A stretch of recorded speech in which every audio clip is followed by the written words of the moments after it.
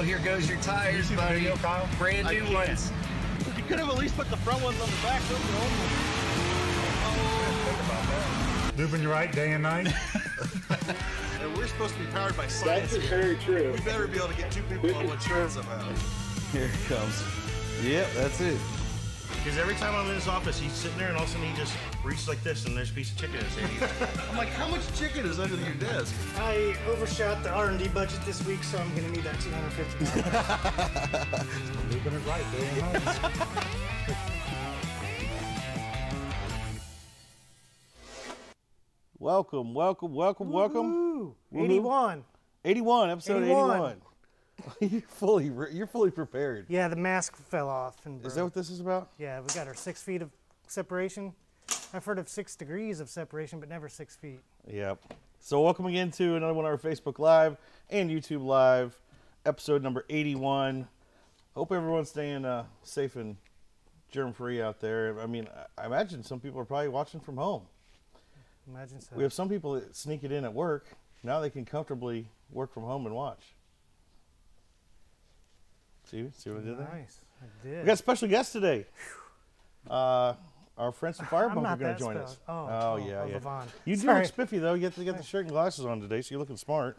yeah. Um, but we're dual streaming YouTube, Looking's half the battle. YouTube and Facebook. Be sure to like and share the video. Click the little bell to get notification. We go live every Thursday at 1:30 p.m.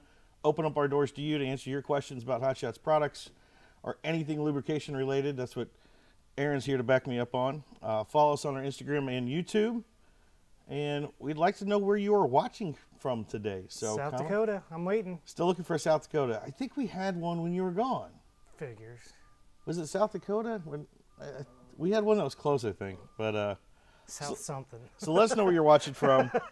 Uh, today's video, we're going to recap what's going on here at Hot Shots Secret. Always answer your questions. So start posting them now below. Uh, if you got questions for Firepunk, we're going to have Levon Miller on today.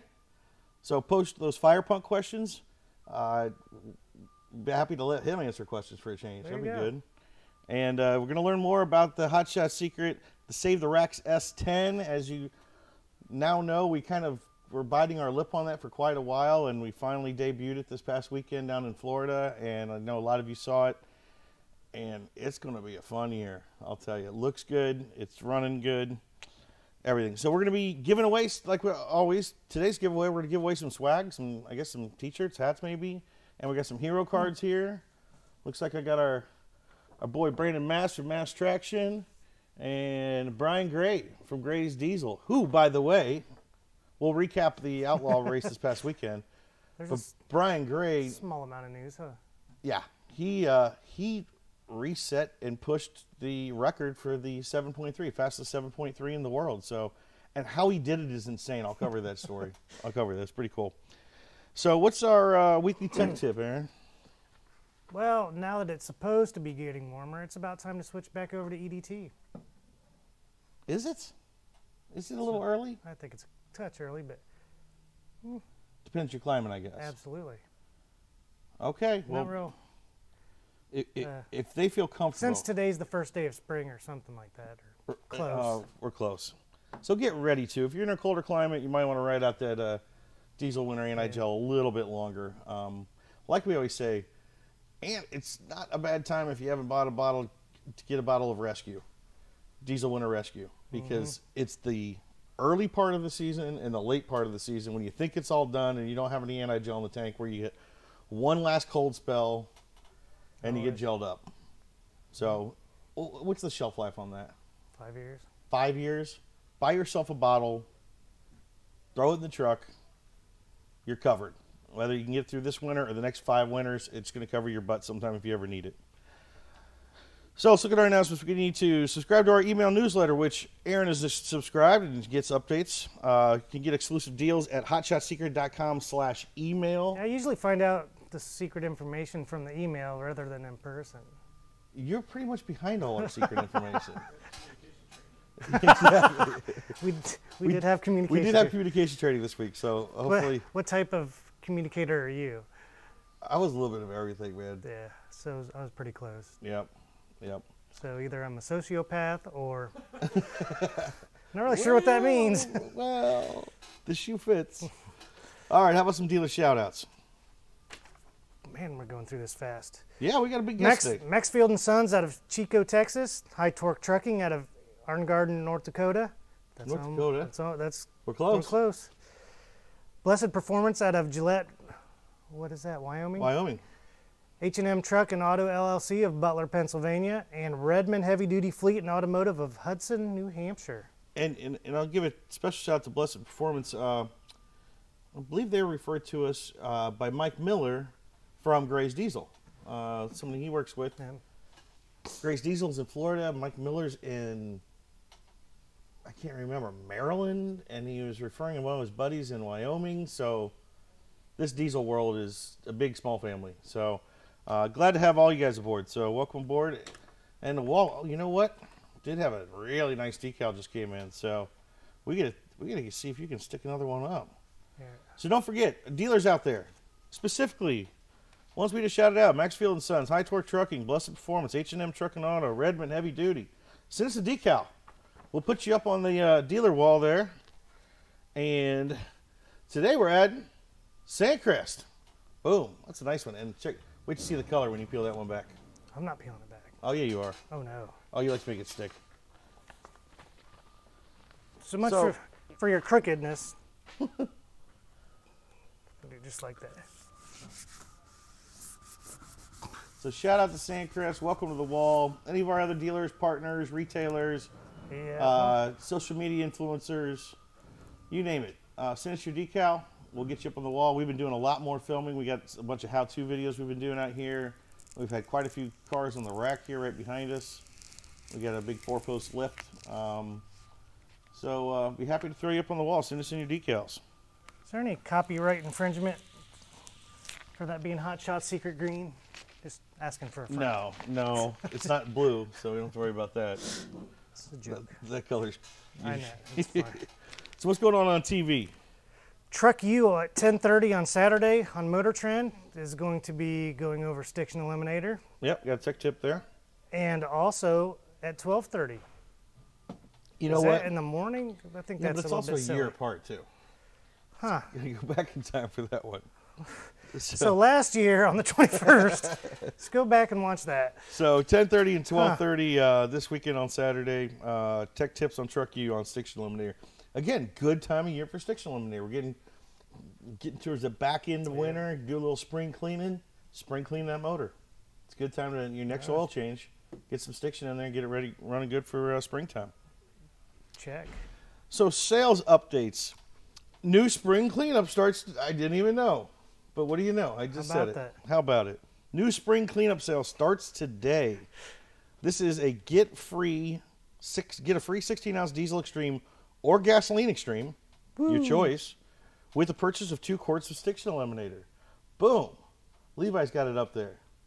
It's as if I like saw this coming or something. But you couldn't do anything better right now. Get the get the oil side and the fuel side cleaned out. Get some Stiction Eliminator in that next oil change. And whether you have a gas or diesel vehicle, get your gasoline extreme, diesel extreme. Um, nice bundle together for you. You're going to get uh, uh, the, the the fuel side cleaned up free if you purchase the oil side cleanup. So you can't beat that. And if how long's it's that going, Levi?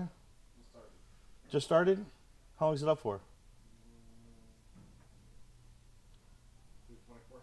19th, 24th. So you got five days. So get in on that. That's a good deal there. Get some free product. And also, we've got the original EDT formula still. We had uh, that extra pallet back here. Uh, we've been running through it. I, I don't know how much is left. Last, last time I saw left, there was a few hundred bottles, which is not a lot for us. It goes pretty quick. So uh, that's the 16 ounce round, not the squeeze bottle people are used to, the round bottle, and the 32 ounce, the quart bottles. This is our EDT old formula before LX4 is added to it. Still a great product, the product we've been using for years. Uh, we just want to get it out of here um, so we can just make sure all our, our inventory's got the LX4 in it going forward. So we got a great sale on that, so check that out. Uh, I know we have a website deal on that, and also dealers. If you want to um, stock up on cases right now, call your account executive. We're knocking the price down on that considerably. So uh, if you want to grab some of the EDT, now is the time. And like I was telling them, I know a lot of the dealers are, a lot of a lot of the businesses are struggling out there right now. It's it's a good time to get this product at a, an extreme discount because you're just going to turn more margin on it then, you know. So um, helps get some of that cash flow in our dealers' pockets too to get to get the price knocked down. And Love's Truck Stop has a My Love rewards of $5 extra bonus on a purchase of two bottles of Diesel Extreme through April 28th. So that's going to be going for a while here. So for the next month, all of our Love's Truck Stops, that's their reward program, My Love Rewards. Extra $5 bonus when you get two bottles of Diesel Extreme. You're pumped about that. I'm You look, you're not even able to hold it in. yeah. Um, I'm just thinking of all the vehicles I'm going to throw that in. exactly. like it's just turning. Like man, So, uh, I'm thinking about getting Quick, uh, ten dollars worth of extra bonus. There you go. So a quick update on this past weekend. We had the 11th annual Hot Shot Secret uh, St. Pat's Classic, the loose rocker event, big money bracket racing out there at at VMP.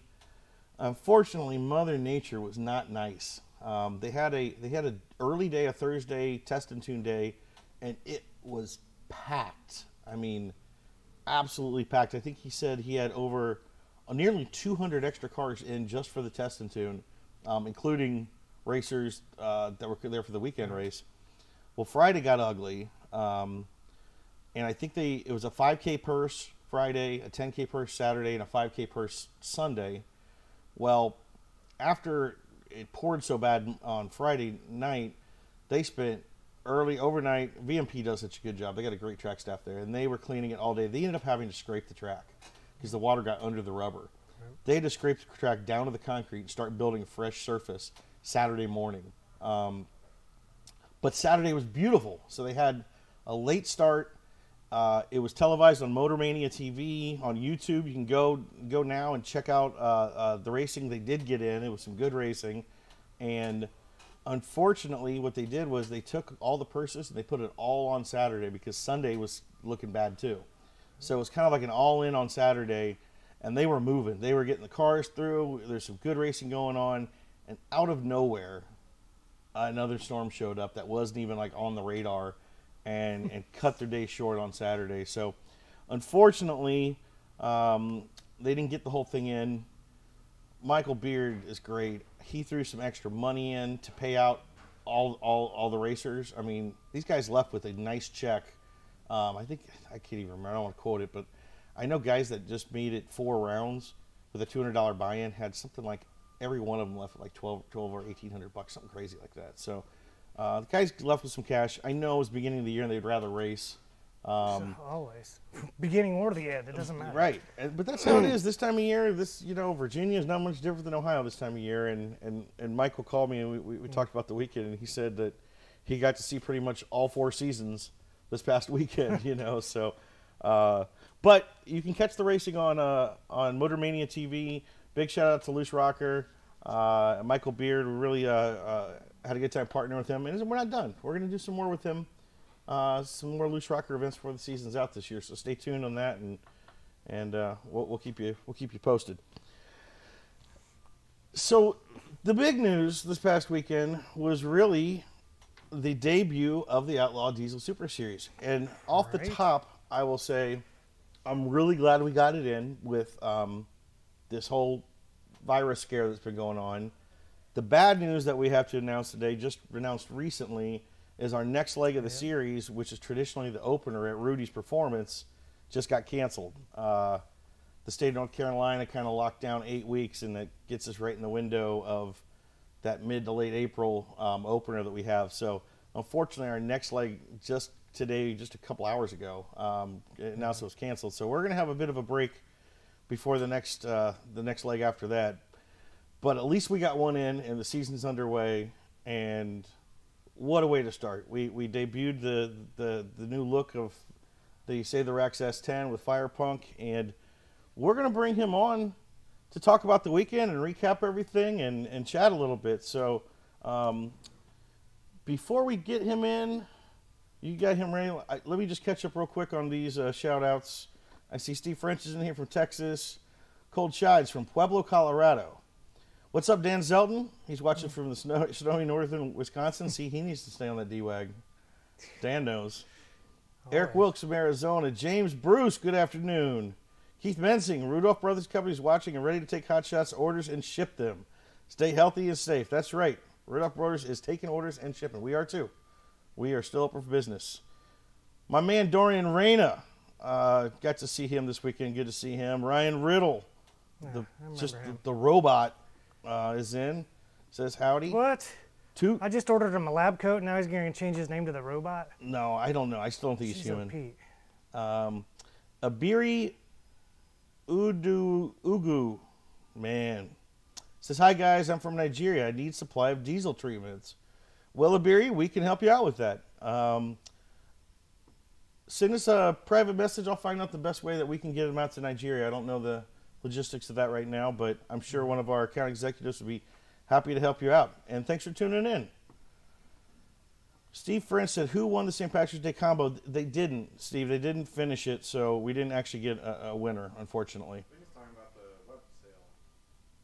Oh, you had a St. Patrick's Day combo sale? I didn't know about that. I was in Florida. That was yesterday. Oh, I saw the mystery box thing. It's not Do we know who won it, or did you just randomly send the box out to somebody? Jeff House. H A U S E. So what do you win? I don't know anything about this. It's a mystery. We're not going to tell him. Well, we spoil, spoil the mysteries around here. So this is some, if I'm not mistaken, somebody or we picked one lucky person that ordered something, and we're shipping them an extra box of a whole bunch of stuff. Hundred fifty dollar value. Jeff House. Well, Jeff House, you got something cool coming. Is it shipped yet? Possibly. Well, there you go. So. I'm sure it's shipped. We don't mess around with shipping. Let's So sorry, honest. Steve French, you didn't win. Uh, thanks, thanks for ordering. Um, maybe I was supposed to be surprised if somebody arrives, but okay, I guess congrats to Jeff House. He's got some extra stuff coming. Let's see. Frank God Jr. Got them hero cards from Iron Man. That's right. Shout out to, to Frank God Jr. and Senior. Uh, got the Iron Man t-shirts in and the hero cards in. Oh, I should have grabbed one. We should give one away today. I'm gonna give one away today too. We uh, we'll, we'll, we'll give one to the winner uh, winner today because we got some Iron Man hero cards and autograph too, so they're awesome. So Levon Miller's watching. Stay tuned, Levon. Going to bring you on in just a second. Got a question for Firepunk? I will actually. You can take that one. Um, Are you sure? yeah, it's about the uh, Project Farm FR3 thing. Lynn Miller's watching. Brian Fennel's in. What's up, Brian? Nick's in. Hey, Nick, I, I posted a video of you getting treed by uh, Ryan last night, man, but I know it was ECD, man, so you know I love you, brother. Um, Levon replied, No, we have not been so busy getting our first race under belt. Not had time to dig in. We'll, we'll talk about it while he's on. Art Boppin came in late. Rudy's was canceled also. Have you talked about the race yet? Nope, just getting started, brother. I will vouch for Pack. Yep. So Ron Huntley, he's the announcer there, said 1800 each in top, 1200 each at foot brake. That's what the payouts were for guys that, you know, didn't even get to finish. That's awesome. Down to 40 cars left in foot brake and 23 in top. That's awesome. Janez is in. What's up? How you doing, bud? All right. So without further ado, uh, can we get Levon on and let's chat about this new look of the truck and the Outlaw weekend to kick off the season. It was a good time. David Robinson shouts out from Fort Lauderdale. Just sent my 21,000 mile Blue Diamond oil sample off for analysis. Change filter and topped off. Blackstone Labs doing it. Let you know the results. Great. We can do them here too, David, if you want to send them our way. There he is. Mr. Miller, how you doing, brother? Doing good. Or are you? Can you see me? I can't hear him on my end. How's your audio, Levon? You good? I can hear you good, yes. I can't see you Not guys. if you can hear me. I can hear you. Can you hear me? We broke it. We broke the internet. We'll get him. We'll get him set up here. About that. So w- w- one question somebody asked um, was Can you hear me now? the Project Farms recent test of FR3. I received an email from you saying that you're all going to perform your own test using the identical generator and settings. Um, you guys were working on that as well. You want to you want to address that, that test? No. I don't. You're not there yet, do you? no, things politely. Things are a madhouse around here. Always. like, like, like, okay, we're gonna do this, and like, what? A squirrel? I mean, Well, it's in general, in general. the- We're, the we plan, we the plan on reproducing. it. There's, and before we get started, I really appreciate the Project Farm videos. It's They're awesome. it's non-biased. Typically excellent testing, but there was a small. I mean, I'm. That's a little bit of room for improvement. How's that? Well, here's For the this- thing. Let's let's let's, let's put it this one. way. With our FR3, and and Levon can attest to this because honestly, it's kind of the story of us getting into mm-hmm. motorsports was Right. first testing FR3 at Firepunk. Well, what you don't see in in in the testing, and when we put FR3 on the dyno, we idle the motors for at least 30 minutes, and we usually put them under a small load.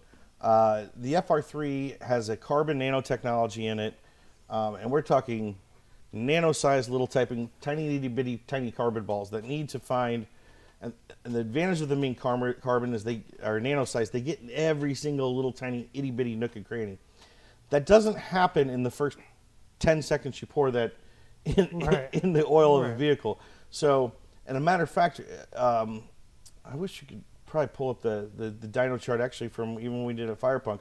What we often find is we, we even ourselves get impatient when we do the FR3 testing because Absolutely. we, we want to keep it in the, uh, put it in the motor and let it idle, let it get under load, let it work its way into the motor as long as we can. And we always say at least half hour, but when you're standing there on the dyno, like 15 minutes goes by, 20 minutes goes by, you're like, oh, just pull it. Three minutes good." goes by. Yeah. Sometimes we get a little jumpy, but when done properly and letting the FR3 work into the motor, um, especially after a half an hour, and then we do pulls, that's when we always see our horsepower gains. And then on top of that, They each pull, right? we get more and more horsepower each pull. It's literally a linear line that gets more and more, which is telling us under load, that's really it's really forcing the FR3 into the motor and, and, and into, into all the nooks and crannies, giving it the bearing surface, like we like to call it, which gives you the flat film layer surface that allows the nano lubricant to do its job on top, which reduces friction, allows us to make heat dissipation down, power up, all that good stuff. So, again, the the the Project Farm, we love it. We love No, it. yeah, we love it. Um, unfortunately, we ne- will never see a gain if you just pour it in the motor and start your test in and- instantaneously and and, it- put no load on the motor right, at no all. load. There's very little friction. I mean, it's a small motor. There's not much friction. And he actually mean, mentions it at the end of the video too. He's like, I He did put a load on it, but um, unfortunately, a lot of people just kind of watch the first like five minutes. And you know, the We're rest out, of the, right. the video, uh, the bearing test came out great. You know, the anti-wear, uh, uh, everything. But uh, so yeah, we were a little disappointed So- that the product was tested am a I, little. Am I allowed to clarify something since he asked? Sure. On the oil analysis, where it shows the silicon, Yeah. FR3 is not a silicone-based product. The area, the wavelength where that shows up is also the same spot where the nanoparticles show up. Right. So we've did several tests with and without oil. Straight FR3, it always shows up that exact little hump right there. Right. So, So- and we even see so- it on our own and- and- analysis. Right? Yeah, that's Um, what. When it, when it comes in. Sometimes we'll see silicone. We're like, oh, there might be some dirt in the oil. And we're like, eh. Let's it's FR3. FR3. We're fine. Yeah. Yeah.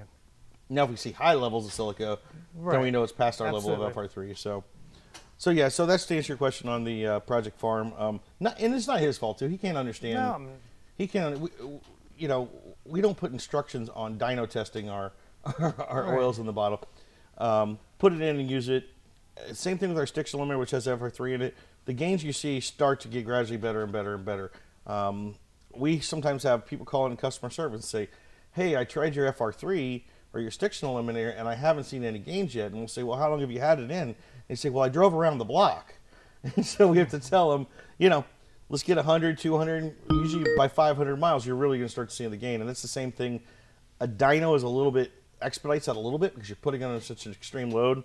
But again, a generator at idle or after pouring, it's kind of tough. tough. a So little tough. yeah. we trying again here, Levi? Technical difficulties?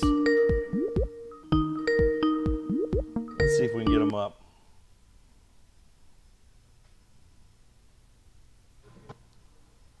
How you guys doing? There There he go. is. We're good, bud. Can you hear us? I can hear you guys. Yes. All right. Cool. Can I hear can me? hear you. Very good. Good. So what's up, man? It's it's a beautiful day. It We're trapped up in an office, right? not as beautiful as it was in Florida this past weekend, but No, We had to come home. spoiled us for sure. we almost got stuck down there. That would have been nice. I wouldn't Except for- complain.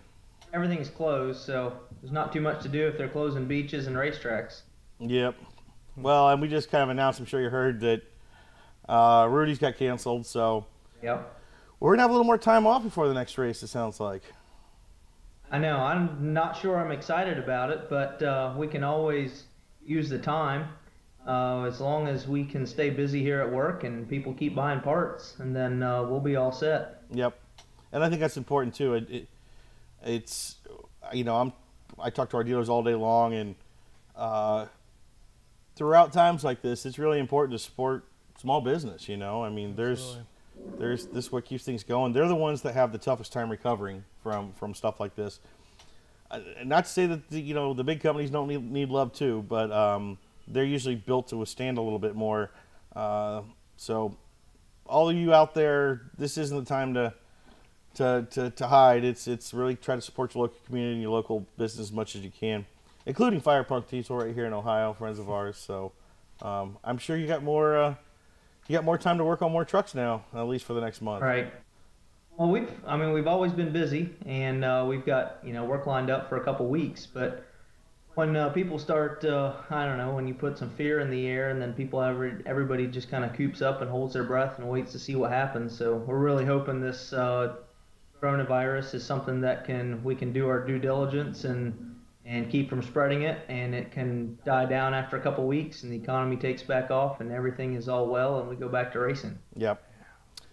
So let's talk about racing. Let's talk about the big debut. I know, I, I know both of us, uh, Fire Punk and Hot Shots, were kind of going crazy mad the, the last couple weeks before the, the this this race uh, with the new debut and look of the the, the truck, and um, really happy how it came out. How it, it, we decided to go a completely different look than what people are used to, Right. and able to pull it off and get it done in time and it was uh, it got quite a quite a response down there in Florida. Yeah, it was exciting. It was definitely something that uh, came about really quickly for us, and for the time that it took uh, to get everything done, we're really happy with how it turned out. And uh, I know it it was something that showing up down there, we were kind of untested with a new engine. The engine was, you know, had been put through its paces on the dyno, but now we have changed our weight bias on the truck and new suspension setup, and it was just uh, we weren't really sure what to expect. So to be able to come out and uh, get the thing to go, you know, pretty close, put it in the 20s. The first weekend out, we were really happy that we were able to at least get the thing to go straight by the end of the weekend. Yeah, and I know, like you said, no testing at all. You're hoping to get some down in Mensker in North Carolina the week before, but weather didn't allow Right. for that. Um, Right. and I think you got what three or four test passes in on Thursday. Yeah, I think we got four licks on it. Uh, I remember the first one was hard left, and then Oh, what was that? the second one was not so hard left, and then Yeah. the third one was a little bit left. So you're slowly Right. pulling it in. Right. Well, we knew we can always go back to what we had before, and it would go down the track. But the times, you know, the 60 foot times that we had before is not good enough for what we want long term. So our goals this year are to come out and see how fast we can get this truck to go, and for that to happen, to go fast in the eighth mile, you have to start by going fast in the 60 foot. So we weren't backing down on on power. We were leaving the power in it and trying to figure out how to make the chassis take it. Yep.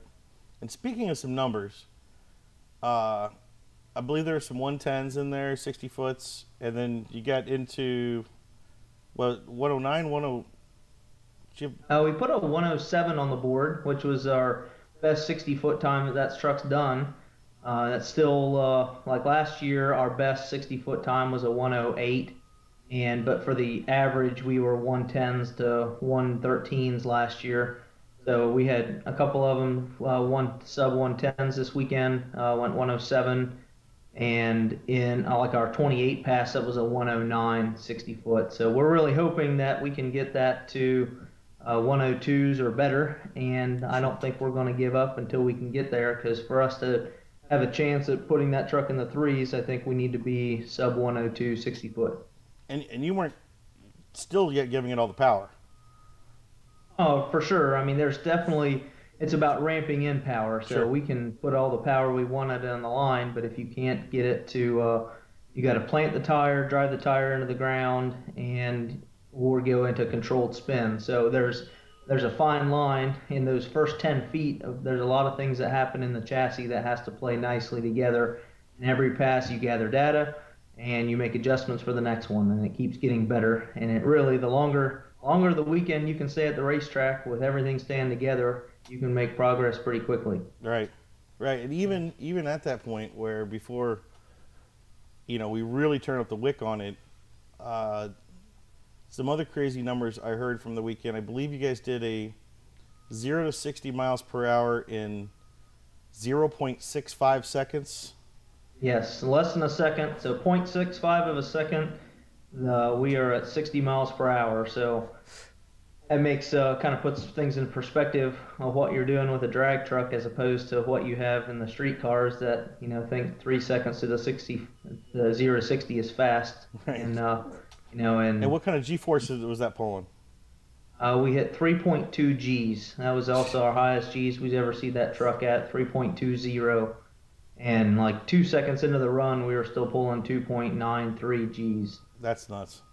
That's just it. So You know, we we, we love to give Larson a hard time about lifting, but I don't know how you Right. I don't know how you can physically push your foot forward on a throttle when you have 3.2 G's just pressing you into the seat. You know, it's uh, right, Uh, but to his credit, he wasn't taking an excuse. He was like, "No, I, I you know, I can still get my foot down. I don't know what's going on." So, right. Yeah, one of the test passes on the hit, G's came up and uh, throttle uh, throttle position dropped back a good bit, and uh, he saw that data log, and I was like, "Don't let that happen again." And next pass is 100% all the way through. It's just a mental thing. You have to physically decide that you're going to keep your foot planted 100% through the firewall, even when uh, the G's are sucking you back in your seat. yeah, and the things all new. I mean, all new motor. Uh, the chassis more or less stay the same, but you did a lot of, uh, uh, of weight changes and it moved stuff around quite a bit. So, um, Right. first race of the year, you almost got to get that trust back up to be able to stay in it. Right. And, I, I Make sure you know it. it's going to be in a safe range when you put the thing 170 mile an hour down the track. You don't want to uh, all of a sudden figure out your that you've got a suspension problem or alignment issue or something like that. So I agree. Anytime that you go through and you turn every wrench and nut and bolt on the truck, and then you want to make sure that we didn't miss something before we just send the thing into orbit. Now, the the pass before uh, the 100% throttle position, how much did it lift? Did you say? Well, the pedal position I think came down about 60% on Okay. that, but it was it's just enough that So- you know it's just for a fraction of a second, um, but it's enough that that will stick the tire in the hit and it directly affects your 60 foot. So really, kind of kind of throw that uh, wheel speed data out when you see a drop in fuel quantity during your 60 foot. So, so just to index that, I believe uh, I believe Cody's pedal position was 30.9, if I'm not correct. Yeah, yeah, he doesn't doesn't maybe hasn't eaten quite as many Wheaties as Larson has, and he's maybe not quite as firmly planted in his seat, and just kind of flies around in there. I love you, Cody. He's gonna be mad. I know. um, before we get too much further, I we do a little thing around here saying uh, it's a little get to know us segment, a little uh, rapid fire personal thing, just to find out a little more about who we're talking to. So you're you're gonna get the uh, quick fire today, Levon. All right. All right. So number one, where were you born? I was born in Plain City, Ohio. I have not ventured very far The- from uh, where I originated. That often comes gets shown in the next few questions. Where did you grow up? Well, same place. Actually, the shop is about uh, quarter mile from the home farm where I grew up at. Quarter mile. uh, so kind of right across the field. And uh, we actually, the shop property now adjoins some of property that my dad owns. I never knew that. What was your first job? My first job um, officially was working for my great uncle, uh, doing he did large custom homes. So I did in between high schools. I worked for him, did anything from uh, putting footers in and to help trim out the or straighten up framing to cleaning up trash to uh, trimming floors, laying hardwood floor. I got in a wide variety of everything in con- the construction zone working for him. Do you see that being used at all today with the stuff you do? Uh, yeah, very much. Because when I go home, my wife wants me to do some things.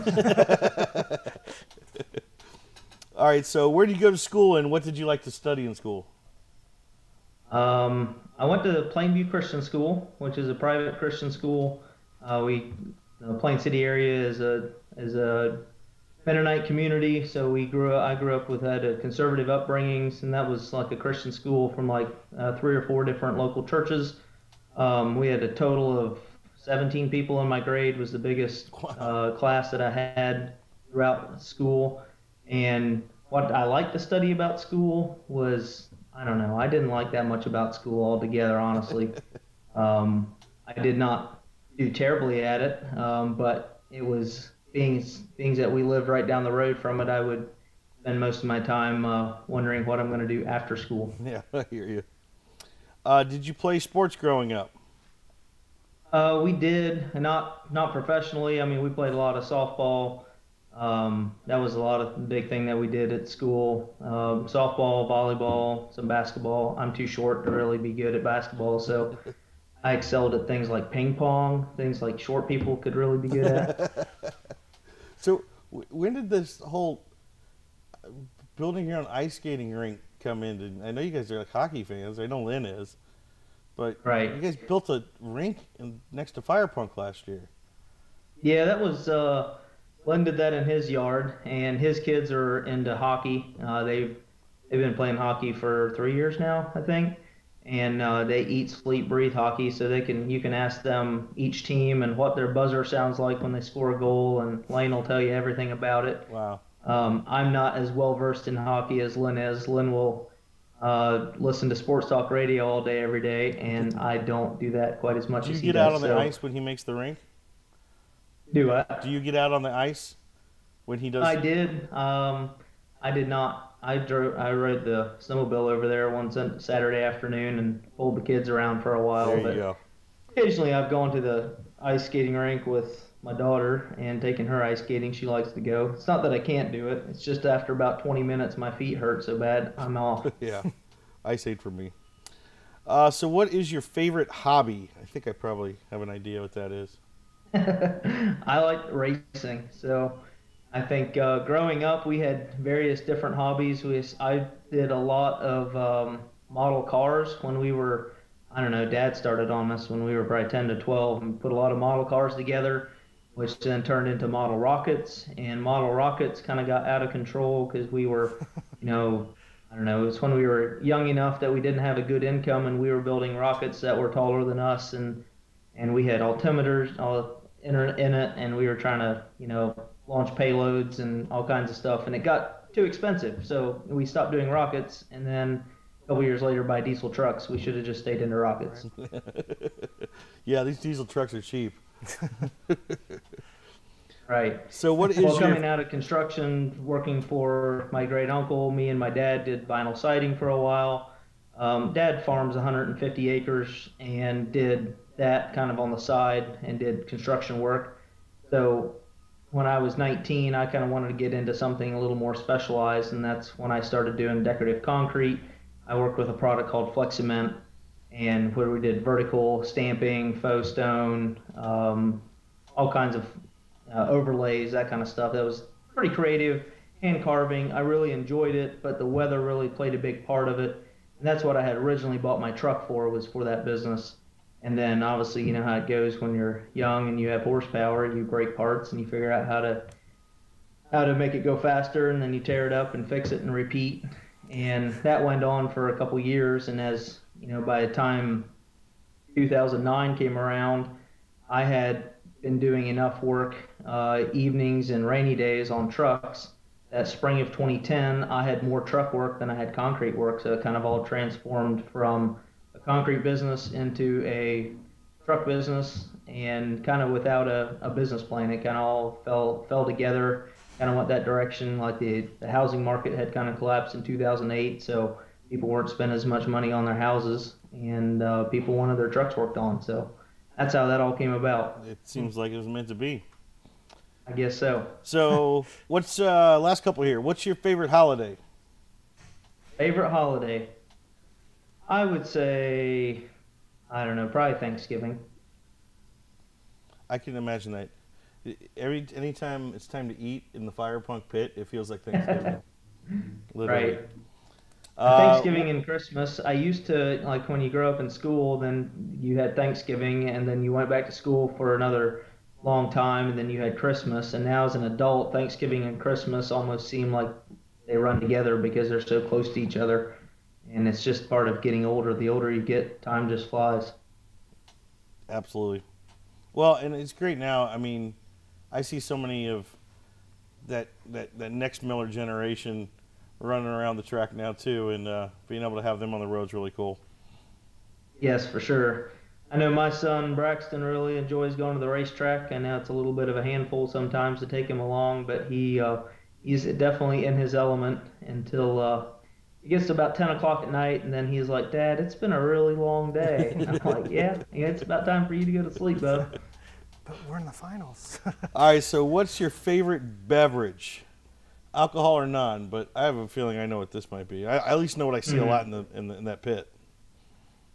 That's a good question, honestly.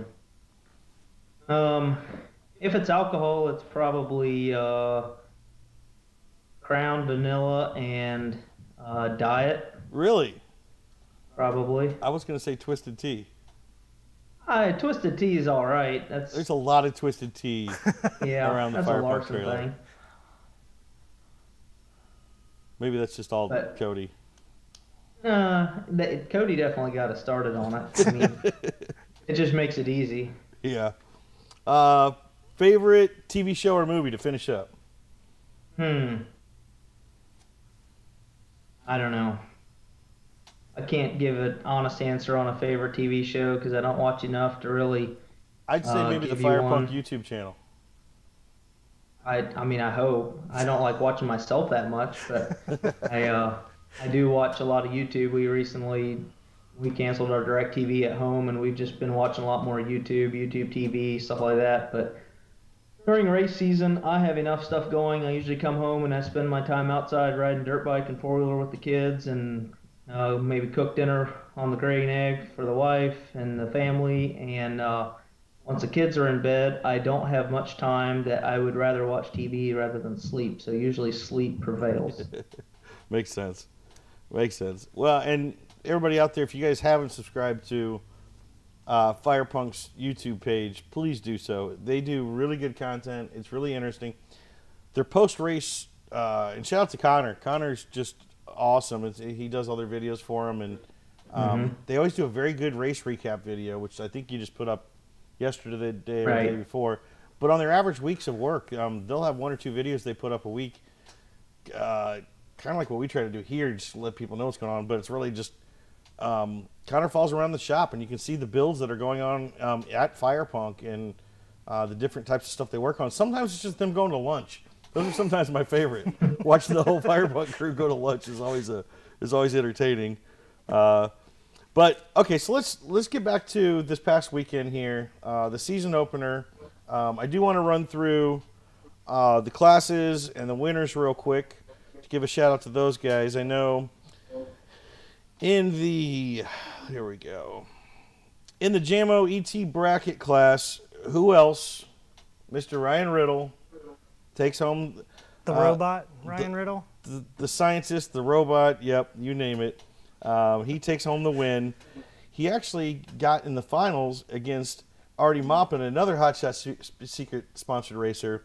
Artie had a tough week, man. Artie, Artie had some, some problems with his new truck. He ended up borrowing Ryan Milliken's daily driver, Nissan Titan, and entering an ET and took it all the way to the finals and losing with Ryan, just like he took our our hot shots truck last Right. year in a row. So shout out to Artie. He can jump in anything and, you know, right at the finals. Uh, Nick Morris made the semifinals.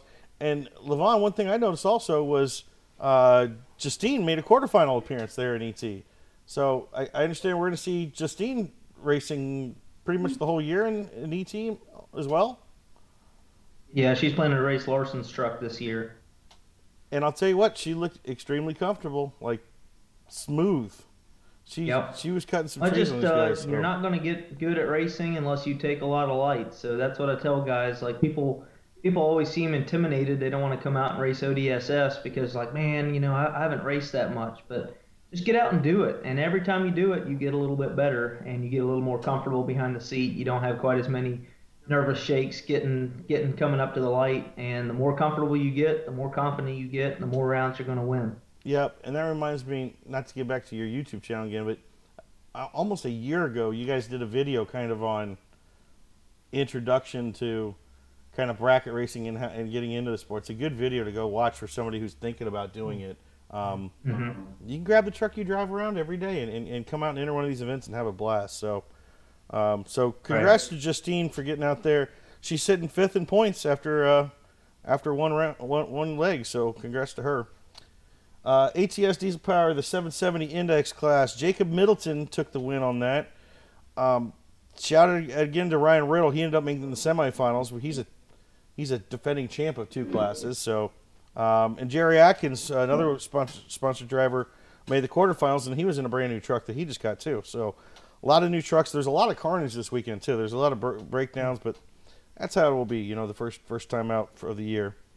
And then we get to the Thoroughbred Diesel 670 index class, and another Miller one. Mr. Landon Miller, uh, with the with the Mega just uh, looked good. So he takes the win against Zach Danner, and I mean he's pretty much just looked like he hasn't skipped a beat. Or is it the truck? Are we giving the truck all the credit because that truck's just automatic on on, on those tunes? No, I mean Landon's done done really good with it, and that's just, you know it just goes to show with being comfortable in your seat it makes a big difference. And I mean the quad cab's beatable because it's it's a heavy truck. It's not going to get the best 60 foot of the class, um, and when it's heavy, it's hard to get as good of a reaction time. Um, but being consistent, it, it usually plays a big part. So I know that truck's going to go out and it's going to run in the 70s every pass out and Landon's been getting the thing dialed in, so he should be a force to reckon with this year, hopefully. Yep. Yep, and then we get to the 590 class, uh, the Fire Punk Outlaw 590, and that was some good, good fun competition this weekend. Um, shout out to Brett Markham. He, he made it to the quarterfinals. He actually uh, was the one who won our, our, our gift package, which turned out to be. I ended up having to like split around because so many people broke and they needed fluids. And since I flew down there, I didn't have any fluids. So uh, Brett was nice enough to donate those back to me so I could help some people out. But we're getting them shipped out to them now. And um, it came down to the finals between Austin Doige and the Firepunk Anteater truck um, against Rod McMaster. Both, again, Hot Shot Secret sponsored drivers. I love it when we get an all Hot Shots final there. And uh, Rod took the win. And congrats to Rod. I mean, I was really happy for him. I was really sad for Austin. Yeah, what happened with that truck? Yeah, can you tell us exactly? I mean, on that? it was for those of you that haven't seen the video. I think there's a few videos out there, um, but the truck ran away. I mean, it, it got a little scary there for a minute. Yeah, it was a bad deal. Uh, he pretty much got the thing up into boost and drove into the beams and was just about ready to launch when the throttle linkage, the return spring that holds the throttle back, broke, which flipped the throttle to full throttle. So the pump went full fuel, which activated nitrous. So he's sitting there on the line holding the truck back, and the truck goes full fuel, full nitrous, everything's on. And luckily, I mean, I don't know, the output shaft of the trans broke uh, after it went full fuel, so it didn't drive the truck forward. And um, he was he had a fuel kill in the truck, but he couldn't. He was strapped himself tight enough with the five point harness. He couldn't reach it until he unclipped himself. So, you know, it took by the time the everything happened, it still took five to ten seconds of wide open throttle till he got the thing shut down. And the engine, he's got a hole in number one piston, so crankcase pressure came up and it blew the uh, it blew the oil turbo oil drains out of the block, which blew oil out on the hood, which leaked down on the track, made a huge mess on the track with like two finals left to go. It was kind of a bum deal, but he pulled the head and engine out of the truck last night and uh, definitely has some carnage. So broken output shaft in the trans and uh, a hole in number one piston and number six piston looks like it was well on the way. Yikes. Yeah, I'm glad it. I mean, when you get a runaway like that, it can be dangerous and catastrophic. So glad no one got hurt. Glad he got it. He got it. He had it turned off. Um, I did talk to him the other day. He was messaging me saying uh, it's a good time to get some nice uh, internal pictures of, of the motor. He's like, "Are you guys interested?" Because he runs all our fluids, and we had just done an analysis at the end of last season, and he had one of the most beautiful oil analysis we've ever seen for running all year in a 590 class. Um, I mean, it was like it was like brand new oil. There was like the lowest particle count we'd seen. I mean, it was really impressive.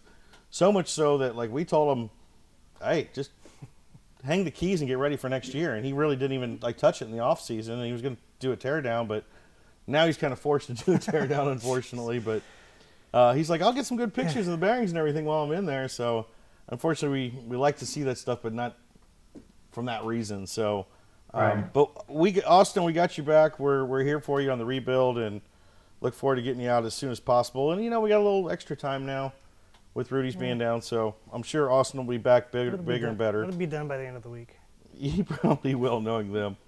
Um, and, Today- Today's Thursday, so right, do the math. and shout out to Rod McMaster too. I mean, uh, I know he had uh, his truck was up at, at Ryan's, and like they showed up. They were working on it the night before. Uh, he goes out there, and I, I, I could be wrong, but I think his like first test pass was like a 591. It's like, wow, this thing's working, or 592 or something. So, um, it was good to see uh, Rod take the win on that. So, congrats to Rod out there as well. And then we got the Hot Shot Secret Pro Street class. The uh, this got interesting because honestly, somehow I missed the memo on them pulling the, the five second restriction. I guess they just did that like a couple weeks ago. And so normally that class is roof to five or floored to five seconds. So, you know, they've always wanted to run a 499, you know, you know, in the fours, but you do it at the at the mercy of being disqualified. Um, this is back, Levon, when you had your pro street truck. Right. I remember when I like first started, first started working with you guys down at Rudy's. You hit that. It was a five double o two, and it's just like, Right. well, that's about as far as you can go in, in this. You know, conquered this, and um, now uh, they've got Derek Rose and and Johnny Gilbert from Stainless Diesel. They both said they've got four seconds in these trucks. Well, I I thought I didn't know the rule was that they took the rule out so they can run four and still call you know still be legit. Sure enough, Pretty much, they changed it to where instead of 4,500 pounds, you can be 4,400 pounds. So they lowered the weight for 100 pounds, and then they said you have to have a 25.6 cert or or better. So basically, you're certified um, to run. It's a quarter mile certification, and being it's eighth mile, so as long as you have that certification, you're between 4,400 and 5,000 pounds. You can run whatever you want. gotcha. Um, so, and that's Is- what is Derek that the put cert up at 499, that you which like created with when back when you had the seven, but who's counting? yeah exactly the that was the new cert they put in right when when you had the pro street truck is that right Yeah, yeah so you yeah. worked with them to make that happen 2016, uh, we pretty much broke down the 850 barrier right off the bat, and that's when SFI came out and looked at the Pro Street class and. And they made some exemptions and made that 25.6 cert for us heavy guys, and that gave us that made us legal to uh, 7.99 in the quarter. right which you went exactly what 799 and five We've been O, right? 788 at 181, and we've been 497 at 151 in the eight.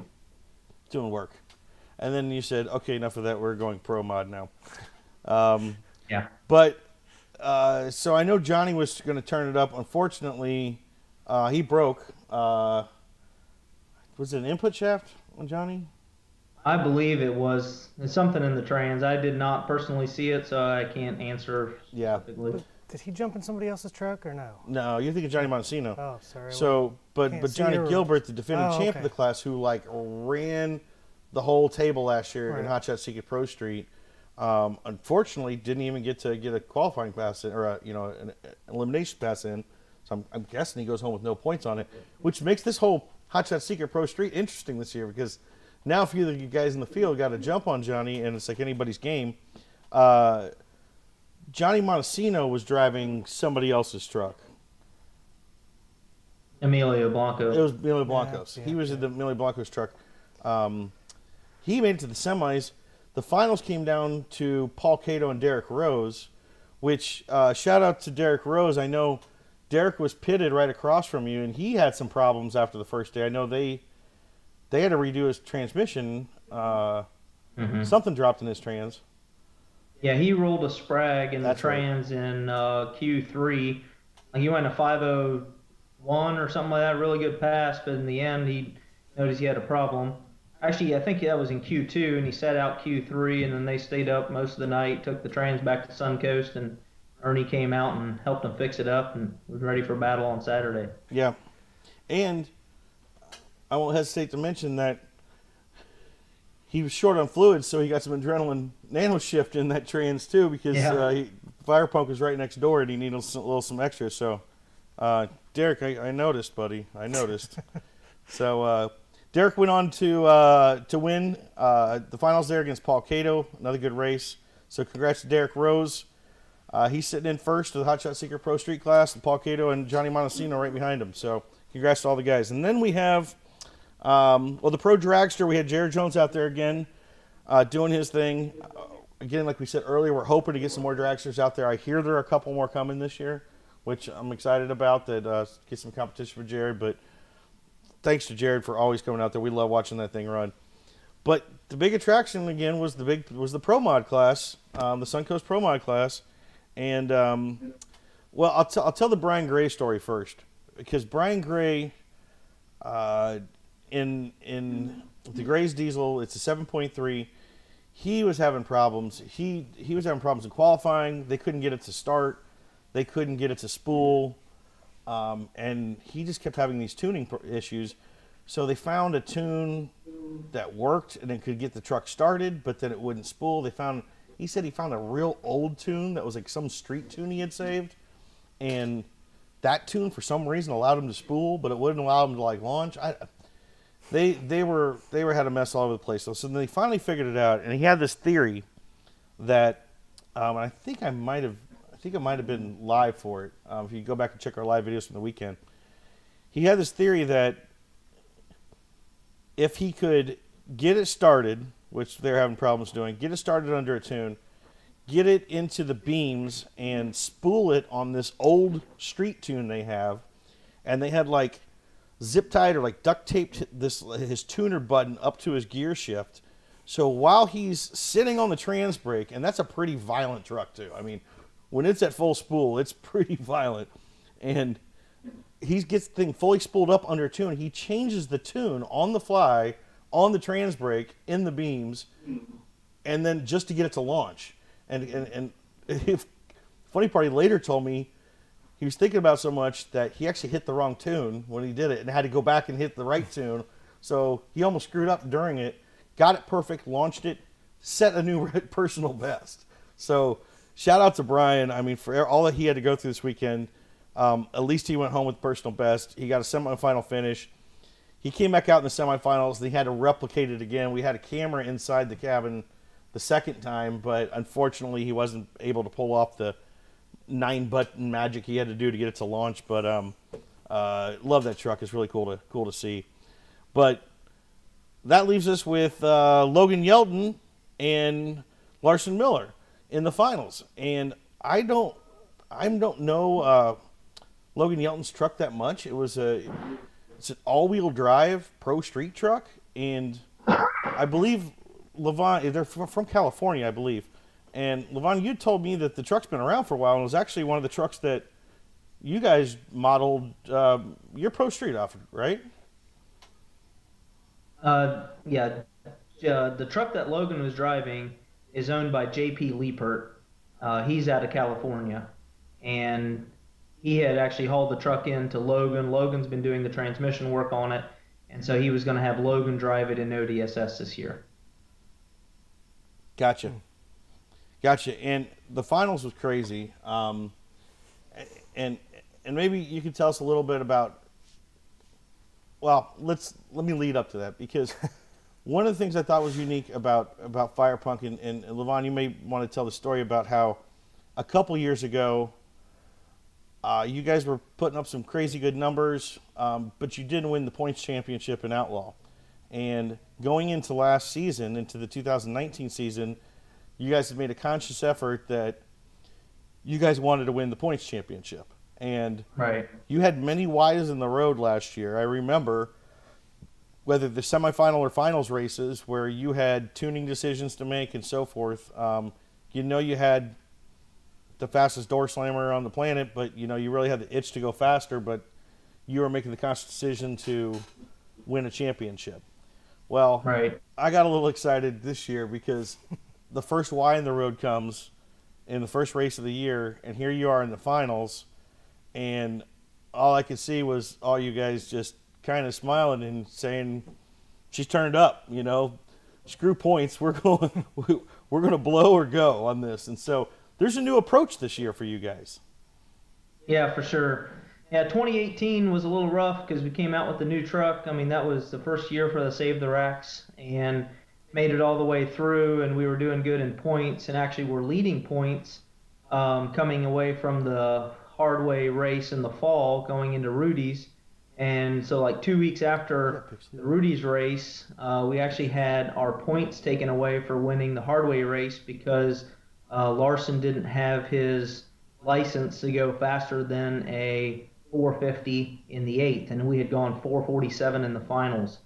Uh, so they let us keep the payout and they let us keep the trophy, but they took the points away. That put us like 20 points behind. Um, and then, so pretty much all we had to do is win Rudy's, and we choked in Rudy's fall. Basically, we left a little bit too big of a tune up in it and kicked the tires up against Michael Dalton, which should have been a, a, a winnable race considering that he was a, a heavier pro mod. Um, nothing against their team, but we were kind of kicking ourselves coming away from Rudy's for not just dialing it back and taking it easy, because that would have won us points in 2018. So 2019, our focus was to win points. We came out of the hole swinging. The truck went 425 at UCC in the spring. We're like, man, this is great. And then we broke transmission, and we broke transmissions five times. Uh, like we didn't even make eliminations in uh, at Holly Rock last year because we made three qualifying passes and broke both the main trans and the spare. Then put a good transmission out of both of those together and broke it in the third round of qualifying. So pretty much we fought through issues in the spring, but when we finally got the bigger intermediate, bigger input in it, got everything dialed in the way it was, we only had a couple races left, and we had to just dial it back and go four, you know, high 430s, low 440s, just settle down and focus on winning points. Um, so we got our championship under our belt this year. It's about uh, setting records. So there's a big thing about a race to the threes, and I don't think anybody's denying that there's a couple people that are gunning for it. John Robinson in the dragster went a 410 at 181 this weekend, which is now the world's fastest diesel-powered vehicle. Yeah, new record. Um, ben Chatty's coming out with a new car. Uh, there's some other chit chat about some other uh, carbon fiber pro mods coming, and I know Wade Moody's gunning for it. So we are uh, we're gonna pick up a bat and uh, swing for the fence pretty much every time out. and this is one of them. You know, so here we are, first first race of the season, and uh, you guys turned it up. And I know, I'm sorry, what's his name? Logan. Logan in the left lane just stood that thing up and just took a hard left, and I thought he put it in the wall, like because that thing launches pretty pretty quick, pretty hard. I, I don't know if he bumped it or stopped just short of the wall. Um, I think he just kissed it. did he? Yeah, and I mean, and he locked. He had gotten so much momentum up in like 10, 15 feet that when he locked his front Right. brakes up, the whole back end came off the ground a good four or five feet and slammed down. So, good save on his part. Uh, meanwhile, you guys were gone. Um, I think I think you blew the tires off. Yeah, we kicked the tires in 60 feet, um, but luckily we were able to. I mean, pretty much all Logan would have had to do is make any kind of decent pass, and he would have beat us. But we were we were loaded for bear and didn't really know what was going to happen. Um, but also, the with Doige oiling down the other side of the track, you know, the track sat there for an hour, at, at least an hour, and it had. I don't think it was quite as on point as what it was uh, an hour previously to it, but altogether we took we kind of know what changes we want to make to make that hit stick. Um, pretty much it slammed the wheelie bar so hard it unloaded the tire. Uh, so we'll probably have to move move some weight from the back to the front, and uh, hopefully it will stick it the next time, and we can put a uh, put a number on the board. And I think it was your uh, the semifinal pass.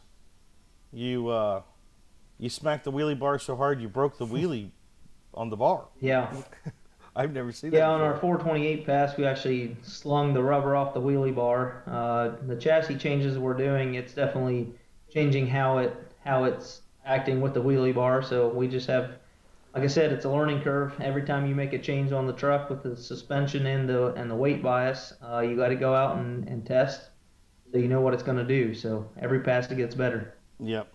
Yep. Well, man, our time has flown. I have like a million more questions here I didn't even get to yet. Um, Levi, do you want to uh, roll a video um, just to so anybody who kind of missed this uh, truck? Here's a quick little recap uh, of, of what she now looks like.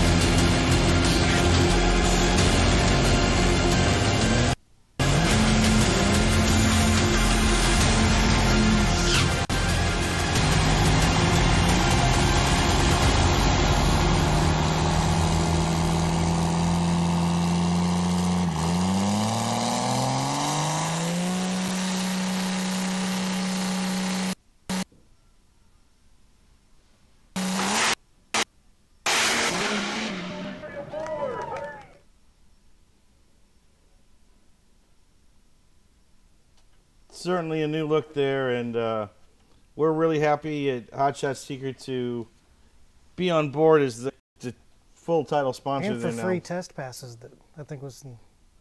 What's that? I think we're allowed free test passes as well. Yeah, do we get free test passes now, Lamont? Is, it, is that the case? Aaron wants some seat time in that. Yeah, that's what I heard. I would bet. I would bet his throttle position would be lower than Cody's. Probably we just got to bolt a seat on the back. Yeah, I'm still waiting for my seat on the wing. I asked for that, but I haven't got it yet. That'd be fun. no, we need to move it about halfway up so the weight transfer's right. That's true. That's true. But um, again, I'm really looking forward to this year. Uh, like I said, we've been working so so closely with Firepunk for a long time now. Um, we appreciate everything you guys do. I know our everybody who benefits, not just particularly in the racing world. I mean that that truck right there has every fluid in it is a hot shots fluid and we didn't have any of those fluids three years ago, and I appreciate uh, the relationship we have with Firepunk that you guys allowed us to not just come with our final formulas and guys like Aaron who are in the lab constantly doing crazy stuff. So, yeah. We poured a lot of stuff into that truck over the years and really helped formulate down to what we have now, which is a product we, we stand behind um, that's powering the baddest truck on the planet. And and although you guys have seen a lot of formulations, what you guys run in the truck is the same stuff that we sell, you know, right here out of, out of the building. And it's the R and D and the, the field testing and the track testing, the dyno testing that's allowed us to create such a product, and it trickles down into our everyday drivers. You know, um, uh, you know, right through to our FR3 that's infused in every single one of those fluids that's in the truck. And so we appreciate that. We appreciate working with you guys. I know uh, it's going to be a fun year. I know already, even though our relationship's been close for a long time, just spending one race out there with you in Florida this weekend with the track now wrap, wrapped hot shots. I've already gotten more questions than I ever have about the truck and everything. So I think that's probably a sign to come this year. So Sure. um, Yeah, we're looking we're looking forward to it because you know likewise for us, it's good to have somebody in a lubrication specialist that's got a listening ear for what our needs are. You know, if you think back three years ago when we were seeing oil pressure drops uh, during the run, trying to figure out is it a, a weight issue with the oil or is it G forces in the truck and we figured all that stuff out because you know when you're just buying oil off the shelf, you don't have that uh, personal help from somebody that's a lubrication specialist. So it's been a been a pleasure working with you guys and and formulating some of these oils and lubricants that really do yield results every time out. and, and it's not over. I, uh, I'm not scared to say this weekend. I think one of after your one of your first couple passes, or maybe after the first pass, you're like, Kyle, come here, and smell this. And they had a they had an oil sample of the trans fluid, and woof, woof. They had to drive it back up. You'll you'll get it soon, and it was cooked. And I'm like, oh no, but that's what that's what we're here for. It turns out I believe it's largely because you have a larger turbo, you got a little more spool time. You guys opened the Yeah. stator a little bit. Um, Don't give all the secrets out. don't give all the secrets away. Not so But- much a mystery truck now, is it, Kyle? By the, I, I, Jeez, I give away a lot of mysteries. man. But I know you guys have Oh, made yeah. a couple tweaks, and by the end of the weekend, we didn't even make another trans change, and and we were good the rest of the weekend on that trans fluid. Right. Yeah, with the with the bigger turbo and all the changes we made, um, the first I don't know four or five times we spooled it, I was overfueling the truck, which was slowing the whole spool process down. It was taking four and a half five seconds to get the thing on boost, and the transmission hates it.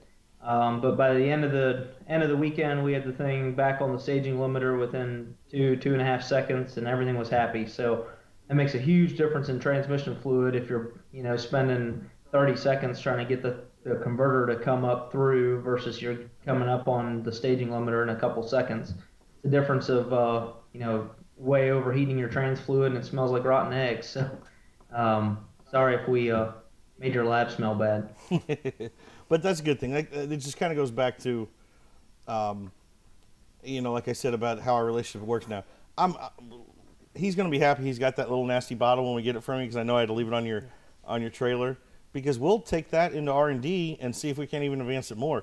Not like we expect any transmission fluid to hold up at that level, but if we can, it's even that better of a product. So we're never scared to go back in and and and and you know reinvent one of our products and add to it, and make it even better. So the the amount of R and D we get out of the, the partnership is uh, is priceless, and um, we'll just we'll continue to keep pushing. And I don't think anybody's making a secret out of you know pushing for a three second pass. I know I know just from what I saw this weekend, it it's got teens in it as soon as it hooks it and, and goes. Um, single digits is pretty, you know, 4 something is pretty crazy.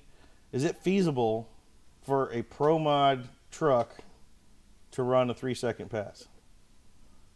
I think it is feasible, um, but it is not easy. Uh, there's people are like, oh well, you want 420s, you know, you're just you're almost there. Well, yeah, you're almost there, but um, 173 mile an hour is not 190 mile an hour. So you want to put uh, three second pass on the board, you got to have enough horsepower to put 190 mile an hour on the board, and you got to have a 60 foot.